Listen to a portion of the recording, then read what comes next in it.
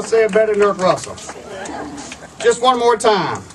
Just think of how many teams in this country today are saying just one time. Just one time. Those teams are saying, I'd love to be a national champion just once. But Georgia Southern is not one of those teams. We've already celebrated our first time, and our second time, and our third time, and our sixth time. And today we start the journey to celebrate another flag in Paulson Stadium.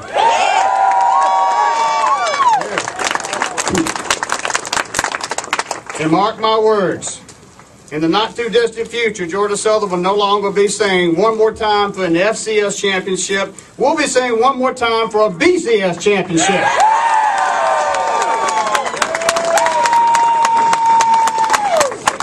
Today is truly a special day as we celebrate and honor Erk Russell and the legacy he established with the unveiling of this statue. Erk established a winning tradition that has become Eagle football more than 30 years ago. And he set the bar that we're using today and the bar that we'll be using in the future as a measure of our success. So today we celebrate that tradition with this unveiling. But today is also a very special day because we celebrate the spirit of the Eagle Nation, epitomized by loyal supporters like Derek Sills. Our future is bright and our goals are ambitious. And we are assured of success because of the winning traditions that were set down by Erk and the many coaches and players that came after him and by the Eagle Nation faithful like all of you and like Derek Sills. Thank you so much for what you do. Thank you for continuing to do what you do to make this the greatest football program in America. Thank you so much for your support and go Eagles! Um, everybody re- repeat after me. One more time. One more time. One more time. One more time. Okay, good. Y'all are good. You followed directions well. That chant began in this the prettiest little stadium in America, I guess 27 years ago about this time. Georgia Southern was playing Jacksonville State in the first ever playoff game. And um, Erk decided to break out that shirt just one more time. And it's on the stadium now. Uh, you may be surprised where else it is, but uh, it's really cool. Um, Rusty and I and Dad, once we were all adults, Rusty's much older than I was, so I had to catch up. Whenever we posed for a photograph, nobody wanted to be the shortest guy.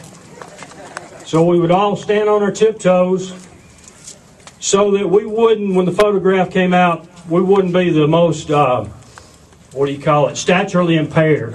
Okay? Today, there's no doubt who the tallest guy is. And rightfully so. We certainly appreciate the efforts of Derek.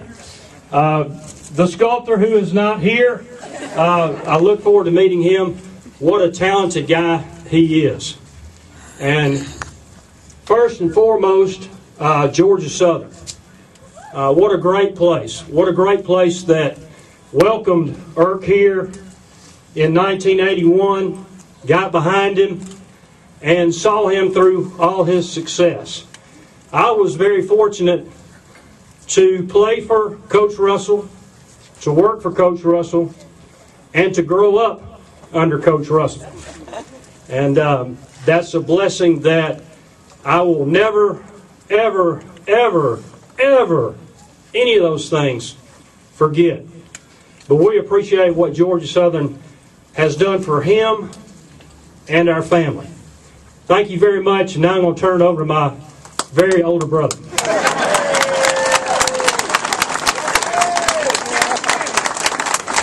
Thank you. It's great to be here. Uh, I believe Jay misspoke when he said that we had all we were all adults.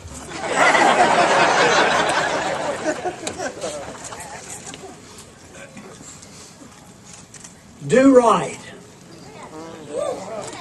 This will gratify some people and astonish the rest. Really, a very, very simple phrase, philosophy, but really just great that Erk had that as a working axiom because it was simple, it was funny, it was very, very effective.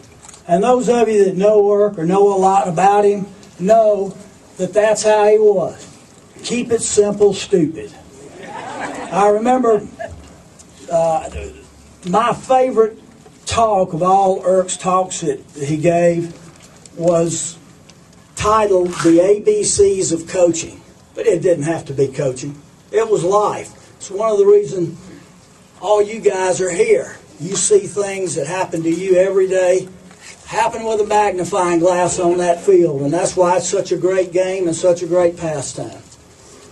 But in the ABCs of coaching, Erk stated simply number one, the A was for good attitude. Number two, the B, well, we'll say that was for guts.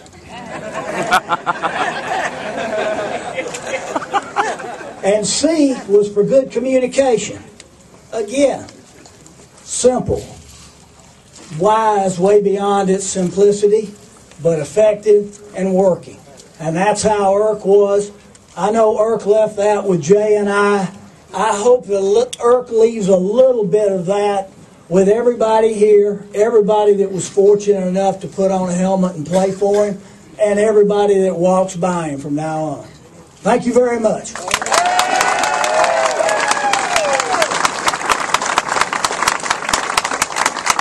If we could, now we'll have uh, Derek Seals and uh, Phil Moore come help us. And uh, I like what Jay did. Let's uh, let's start the one more time chant again, and let's uh, let's pull this thing off. One more time. One more